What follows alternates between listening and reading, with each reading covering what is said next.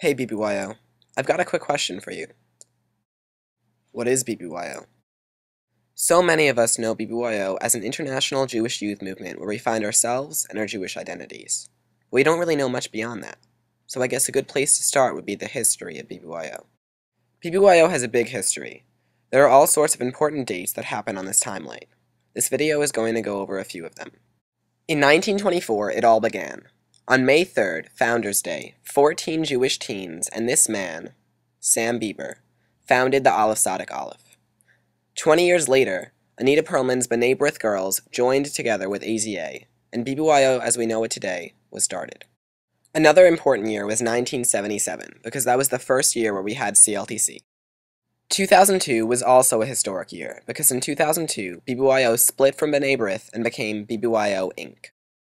Then, in 2005, BBYO's international convention moved out of Camp Perlman, so now it is in a different city every year.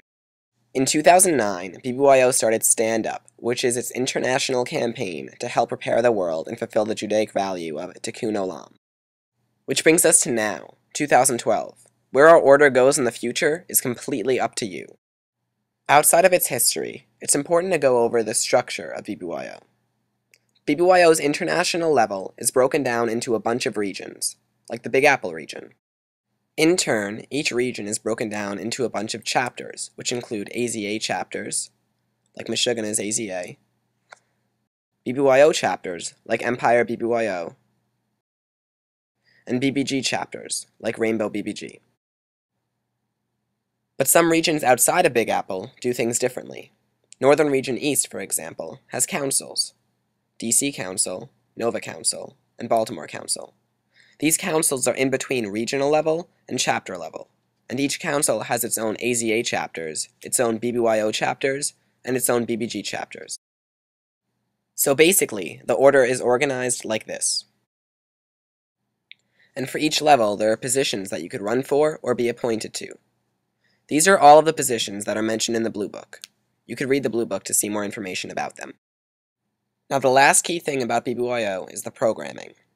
On the most basic level, there are chapter meetings, but that is just the tip of the iceberg, because there are a bunch of other events that you can go to in BBYO. And these other events include conventions, which can be regional or national or even international,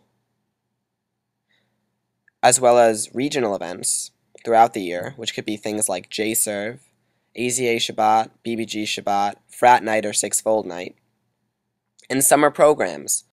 BBYO offers a bunch of different summer programs like Impact Boston Session 2 that you should check out online at bbyo.org. Thank you for listening, and hopefully this video gave you a basic understanding about BBYO.